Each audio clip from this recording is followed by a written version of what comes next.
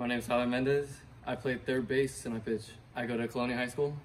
I am the class of 2022. I play for the CK Cardinals.